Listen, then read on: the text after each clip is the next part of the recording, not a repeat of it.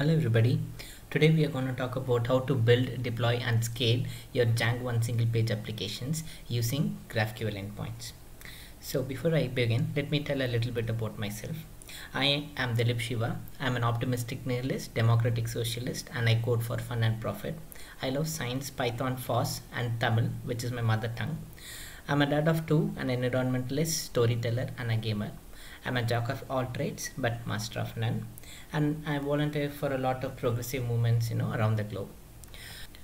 So before we begin a standard disclaimer. I have no idea what we are talking about. Uh, I uh, you know play around with a lot of things front and back and mobile applications IoT uh, you know as long as it's coding I love to you know um, experiment with different things uh, which is why I'm a jack of all trades and I end up having uh, you know a lot of uh, breadth about a lot of things but not enough um, you know not enough depth.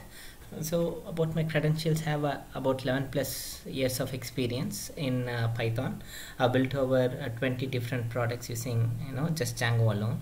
I scaled more than five products to serve more than five uh, you know to serve nearly uh, millions of requests per second. I built a device farm uh, ios and android device farm you know which was used for security testings and I was involved in building a Bitcoin mining farm with Raspberry Pi and custom ASIC chips. Uh, it is sort of like an AWS for uh, Bitcoin miners, if you will. And as for my profession, I work as a VP of Engineering at Reckonsys, and I work as a Hitoshi Kage at a non-profit called Timis. Let's get this question out of the way. Why GraphQL? It's much more standardized than the fragmented RESTful implementations. You know, everybody have their own flavor of RESTful implementations, and uh, and you know, it's it's all about their own preferences. But that the same thing cannot be done in GraphQL. Um, GraphQL has this very specific stretch of format that you'll need to follow. In GraphQL, you get you get a live and browsable documentation out of the box. There is no need for you to you know maintain a different uh, API documentation like you would do with uh, Swagger or or any other thing which is used for REST. There is no back and forth communication between the API developer and the React developer. So uh, usually every GraphQL endpoints give a, a GraphiQL Explorer where you are free to sort of like uh, you know explore all the queries and mutations and subscriptions and types and whatnot. Uh, and and you can write very precise queries. In RESTful framework uh, it doesn't matter if you just need like two fields or if you need a bunch of fields or if you need like less nested levels of fields. Uh, it will always return you the same response.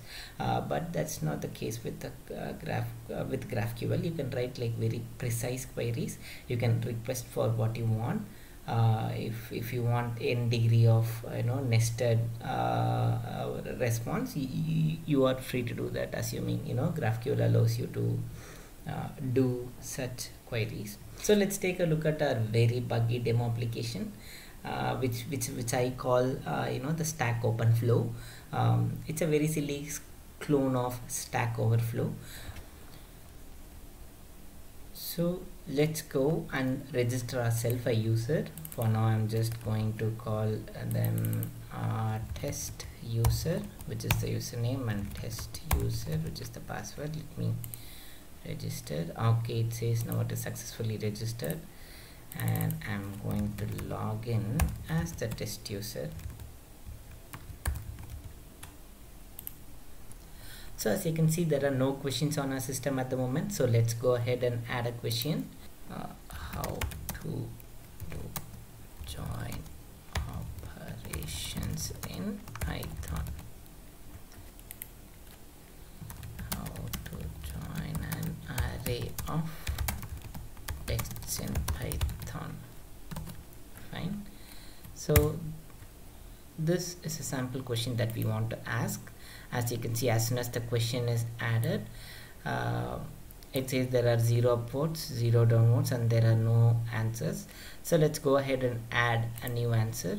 Let this answer be uh, you know uh, foo bar and then we just simply join.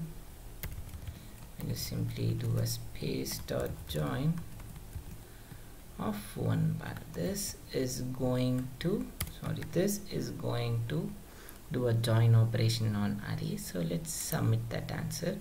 So here's the first answer right? So the first answer uh, which is given by uh, me the same test user is you know join foo and foo. You can add comments. So if you see there are no comments here uh, I'm going to add a new comment saying thank you. Submit and then and there is the comment fine. And you can upvote on a comment or you can you know downvote on a question uh, fine. So that is it. So that is our entire application now that we know what our application is all about let's uh, dive into the tech stack that we've used here. So it is on on the backend it's built with you know python django. I've used this library called the graphene library uh, which is used for graphql implementations. And there is django graphql jwt it is sort of like uh, it's a it's a it's a plugin for graphene library if you will where you can have jwt uh, token based authentication and we have used Django rules. I just put the Django rules as a as a uh, as a hint here, you know, as sort of like a recommendation that you could use that uh, upper object library, upper object permission library that you could go for. And I've used the Postgres database. On the front end, it's uh, JavaScript with React, and I've used uh, Relay and I've used ECPC state management uh, library. Uh, so graphenes have custom fields the code is synchronous. You can only write synchronous code with Graphene. It's more mature. It is the status quo and it has a fantastic integration with Django. On the other hand, using Strawberry Rocks, uh, the schema definition is completely based on data classes. It's it's asynchronous, uses asyncio. Uh, it's not so mature. Uh, you know, it's it's being a relatively new library and all.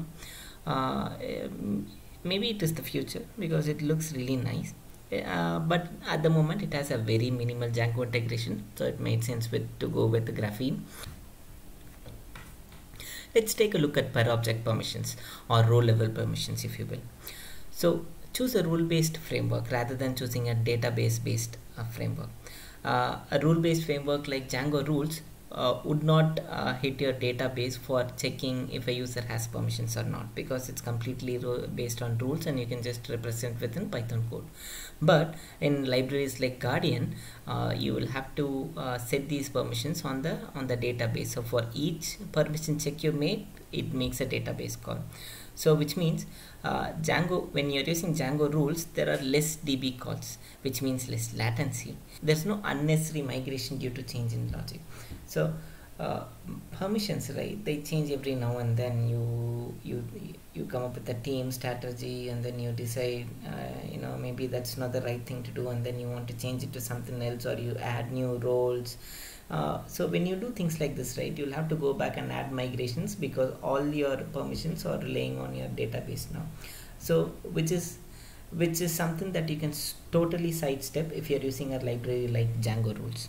And it's easier to maintain uh, you know compared to uh, frameworks that depend on DB to uh, you know apply permissions. So let's take a look at our project layout. So this is my backend repository and as you can see I have a stack overflow root, root up here. So basically the stack overflow open flow is where uh, is the one that has you know your uh, settings.py and wsgi.py so if you've read uh, books like 2 scoop of django they uh, recommend you to keep configurations in a separate folder like config which is not something that i like. Uh, it's just a matter of a personal preference. Is that i like my things uh, being namespaced.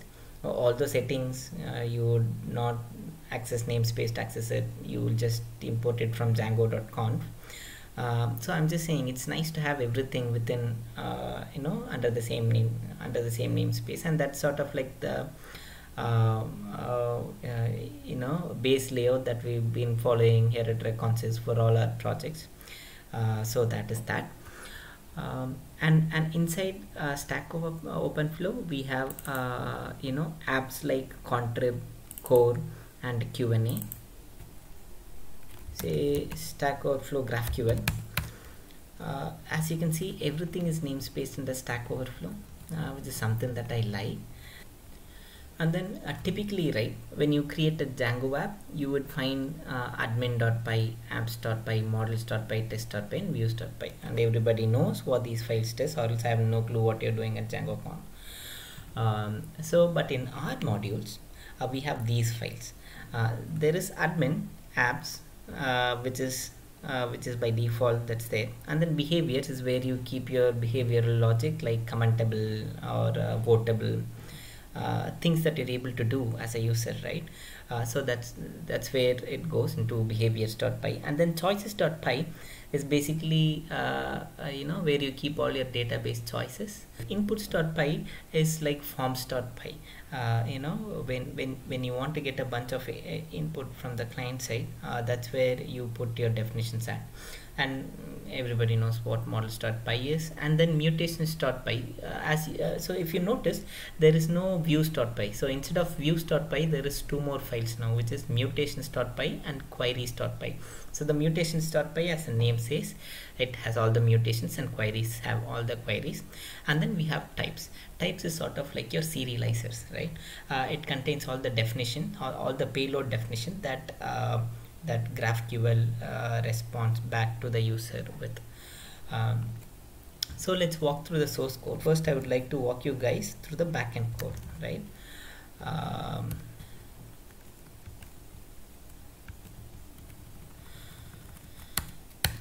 so let's open core.py and in the core.py let's go through you know some of the files. So basically we have this choices.py this choices.py is nothing but uh, you know all the choices all the database choices uh, that the models have. So for example there there could be an admin type of user or a client type of user.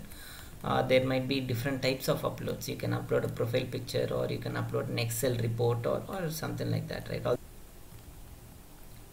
and then I have an upload status. I have an upload status which says what's what what's the upload what's the upload status. So basically this choices.py file has all the all the db choices. And in the models file you can see uh, there is a base model. So basically we use UUID as the primary key and then the user has a user kind. And then there is an upload object. There is an upload model uh, which is used for tracking all the uploads that are done to the system. Uh, we have our inputs.py right which is more like forms.py it will have uh, just you know uh, it will say what will the what are all the inputs that the GraphQL uh, expects. So for instance the register input right? So at the time of register we only require username and password uh, so if you were to look for the register input uh, you would find that there is username and password. Feel free to ignore the client id mutation which is nothing but a relay uh, which is just which is nothing but a property that's added by relay. So you can safely ignore it. Uh, and then we have types.py uh, so every model typically will have a type file uh, associated with it. It's like Django uh, serializes. It's like Django model serializes if you will uh, so here here is for example the upload right? The upload in in this uh, place it can have a pre-signed post url generally speaking what people will do is that they'll upload from their browser to their server and then server uploads to s3 and then returns that uh, response back to the browser. So let me tell you why that is very problematic. Say uh, you just have two servers right um, and and there are uh, there are hundreds of people trying to upload huge files and that's going to be a problem because everybody is going to be uploading to the same file. And let's say you also have to redeploy your code during this time uh, you know it's not easier to do that because there is active uploads that are going on. So that is something that, that we should actively try to avoid that uh, the indirect upload to S3 through uh, the servers we should try to avoid it. So what I usually do is I, I create a pre-signed URL I let the browser upload the file directly to S3 and once it's finished uploading it will make a mutation call. So let me just walk you guys through the mutations here.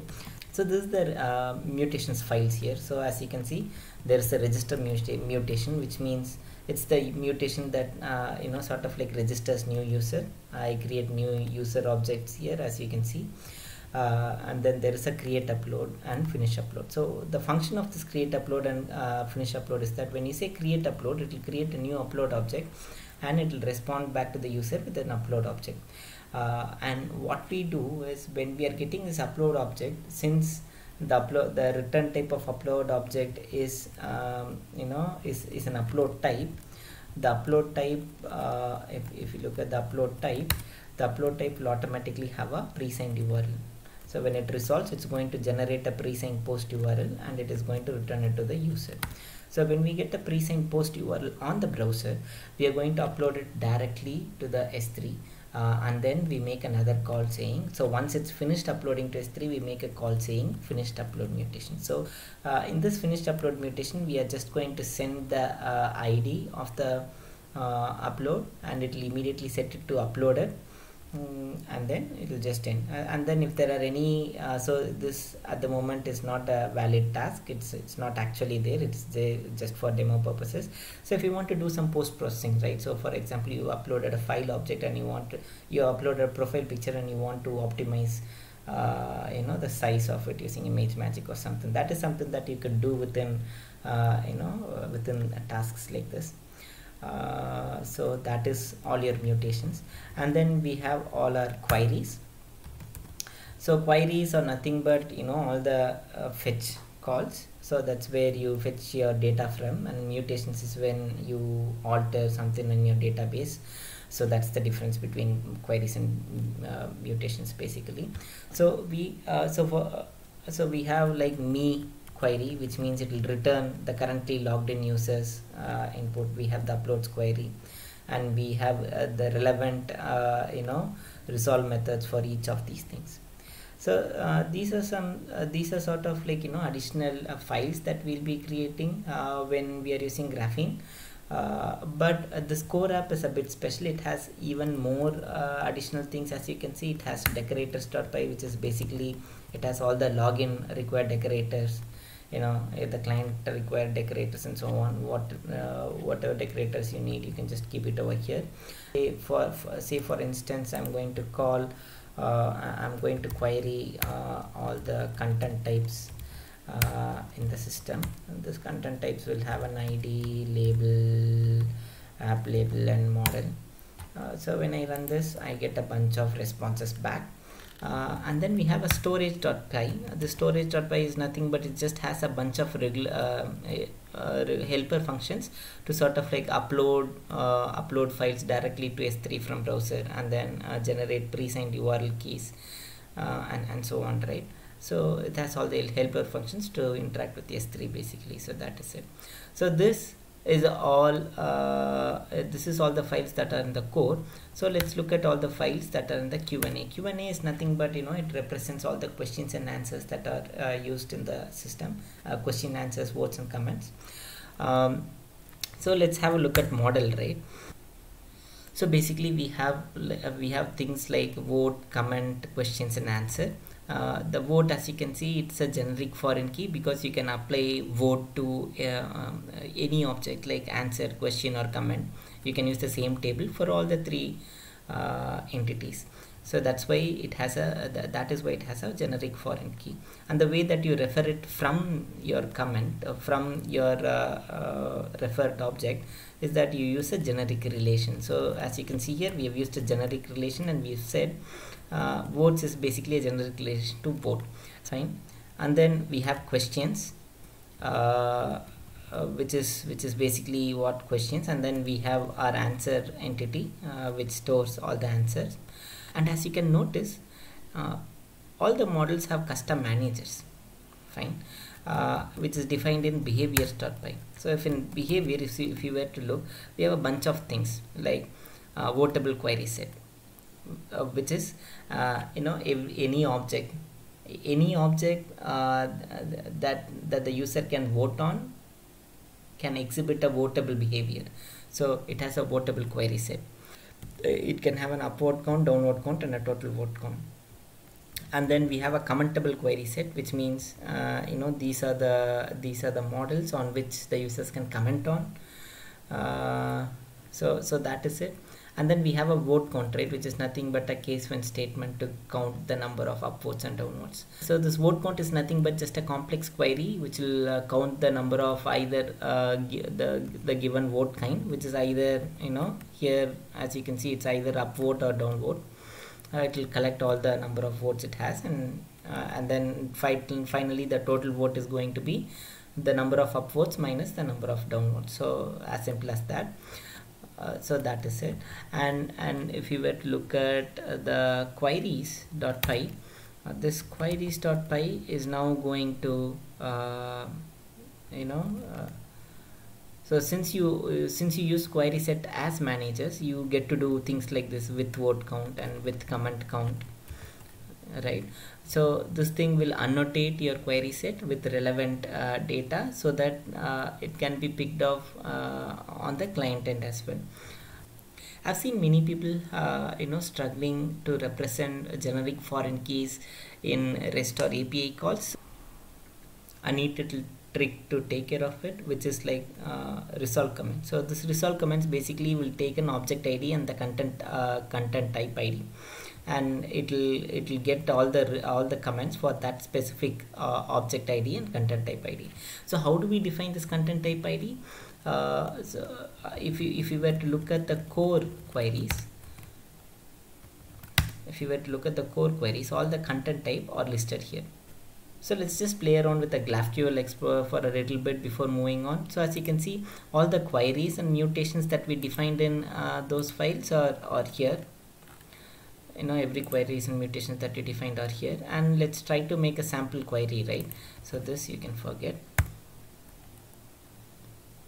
So we are going to take all the get all the content types first. So when you run this as you can see it gets all the content type. And uh, so it gives like a really nice documentation that you can explore around with. And you can also play uh, live uh, with whatever data that you have on your local. Uh, so this is a really uh, this is a really uh, handy tool to have. So we also have history here on the on this history button. If you just click on the history it will show all the the past 20 or so uh, you know queries and mutations that you have done. Uh, uh, so let's look at this input mutation right? So this is a login mutation. So for example for example i'm just giving a username and password which is hard coded here and i'm just going to run it. And as soon as i run it run this mutation I get a token back. And uh, you know uh, any further uh, calls to the log uh, to the views that are protected by login required we send them with J, uh, JWT tokens uh, with these JWT tokens. So that is all about the client side. That is all about the Django server. Let's take a look at the front end app which is Stack Overflow app on my on my local. This is where I have it. Uh, so I'm already inside the source folder. I'm not going to worry about the things that are outside the source folder. Uh, we are only interested in things within the source folder. So as you can see I have a command here. So let me just show you guys that command. So I have uh, app export. Fine. I have this I have this management command called app export. So when I run it it's going to it's going to export the choices.js and the schema.json from our repo to uh, the uh, react repo. And in the react repo you get to see what are all the choices. So uh, every choice that you declared in choices.py is now available in your choices.js so when it is exported like this you can do things like uh, routes questions vote. So this is a vote component right? So this basically has a vote button uh, it has upvote button and downvote button. So basically what I can do is that I can import these choices. Fine. And I can just say choices dot vote kind dot down or choices dot vote kind dot up okay. And then let's now uh, you know have a look at uh, the non-production deployment which is using Vika again um, the the source code is located right over here. I've forked it. Uh, let me just open DJ Con began. Or should DJ Con EU 2021 began.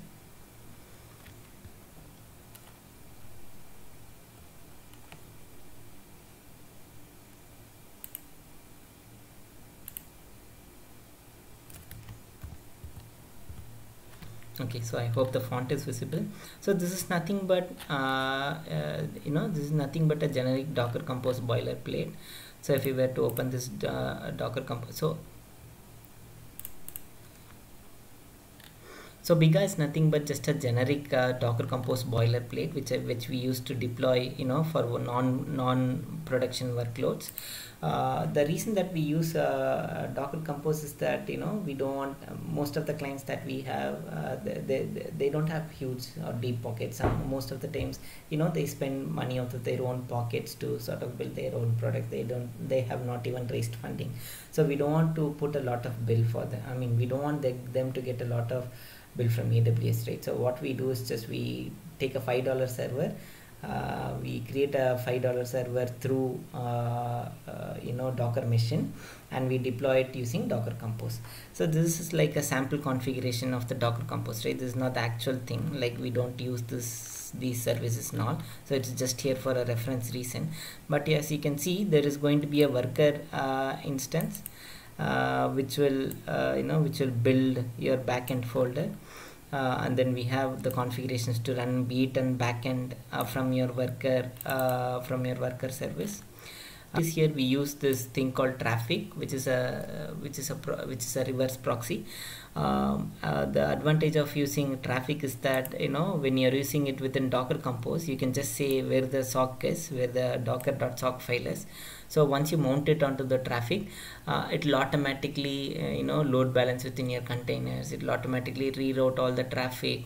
Uh, you don't have to do much of any configurations to uh, you know like you would do with nginx uh, because this is cloud native. It is supported by the cncf foundation. If you guys have not already checked up checked it out you should really check it out uh, so this is a project that's worth checking out so all the documentation is, is you know it's it's clearly uh, it's it's written step by step over here if you guys have any doubt be sure to write me an email i'll be sure to respond to you guys and then AWS Copilot. This Copilot is an interesting utility, right?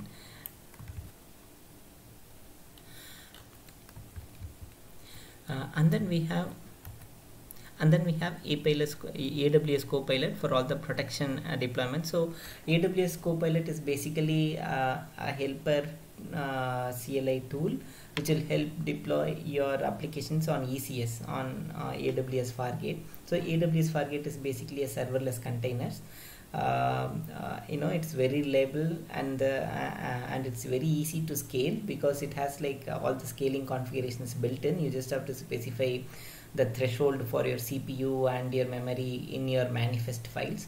Once you do that uh, as as soon as your uh, as soon as your uh, you know usage your resource usage meets one of these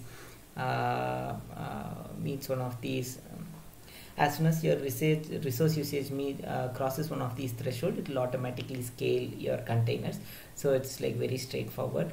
So it's always software engineering is always about trade-offs right? So for being vendor dependent uh, you lose uh, you gain you gain a lot uh, in terms of scalability and reliability. Uh, and and this is very useful for teams like us because I've always exclusively worked with small teams uh, which usually is, doesn't go more than 10 people and uh, you know where uh, where we don't have a lot of specialized roles. Uh, so this is like really handy for people like us. Um, and it's cheaper than lambda uh, serverless functions. Uh, because uh, it's not only cheaper it also has low latency compared to lambda functions and as far as the and as far as this single page application deployments are, are concerned don't let your server uh, you know handle static files.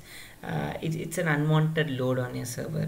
Uh, uh, you know it's, it's going to introduce some latency and and it might not be that reliable. Way to do it is just uh, you know build your uh, build your single page application push it onto s3 have it proxy through a CloudFront CDN and then uh, attach a ACM certificate to your CloudFront CDN if you have a custom domain which will give you free SSL certificates.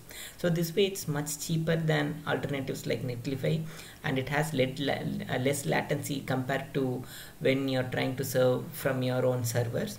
Um, and and then there are different ways to go about it. If you want uh, if you want an automated deployment again this comes from the same Biga repo uh, djcon eu 2021